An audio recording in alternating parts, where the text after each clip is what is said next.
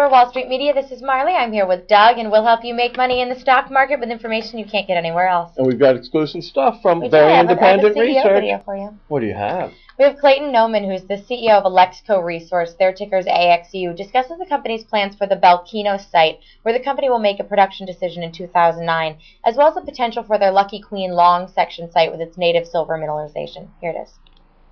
So what's the path to production? Well, pretty pretty simple. Um, the first half of this year, um, we're going to spend uh, the best part of, uh, of eight or nine million dollars uh, driving back underground into that Bellekeno deposit, a 600 meter decline, about 2,300 meters of rehabilitation to be done underground. We'll get most of that done in the first half of this year. We're going into the back the back end of summer, and we'll also drill off the Onek deposit. We'll turn out a uh, uh, 43101 technical report, a compliant technical report on Onek. Um, and we're completing a, uh, uh, an assessment uh, or a scoping study, if you like, uh, on Bellekeno as we speak here. So we should have that complete um, also in the second in the second quarter. We'll start drilling underground at Bellekeno um, uh, in the later in the latter part of the year, and hopefully be in a position to make a production decision there um, early in 2000 early in 2009. Just uh, we also run a district exploration program, and uh, this is uh, results from just one of the properties that we happened to look at last year. This is a place called Lucky Queen. And this is a pretty interesting property in that uh, they turned out more than 11 million ounces of silver here from about 120,000 tons of ore. So just not a lot, but the average grade was 88 ounces a ton.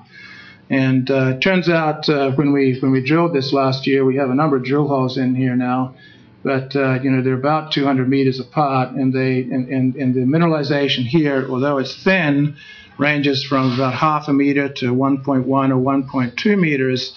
Grades are getting in here 400, 500 ounces per ton silver and higher, and the reason is that this is native silver mineralization. Now, I heard a um, I heard a talk yesterday um, at the Amex conference where somebody actually, it was Mag Silver actually, had uh, run into some uh, native silver underground and done some work on it. There's only two or three places in the world you get this type of mineralization. So, so in the drill core, um, you know, from Lucky Queen here, you, you see You these said 11 wads. and- million ounces from 88,000 tons.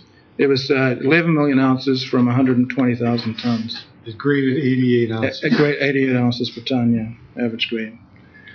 So um, the um, so so this stuff comes out of the ground and in drill core is sort of wads and wires of, of native silver, and uh, you know it's museum specimen type stuff, and certainly not something you'd ever put in a mill, right? You you just so um, you you know ship this direct to a uh, to, to to a smelter. Um, so, uh, so quite quite interesting from that perspective. And you don't need many tons at those types of grades to build something that uh, um, that could be very significant.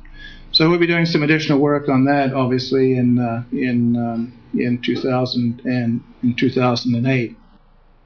Good stuff, right? And you Very said they, good stuff. they're uh, affiliated with Nova Gold? Nova Gold owns 18% of them. They're a majority And we just did shareholder. Nova Gold last week, Yeah, right? we just covered them the other day. Yeah, and um, they're pretty interesting. They have a silver focus, and most of the companies we looked at have gold. So nice change.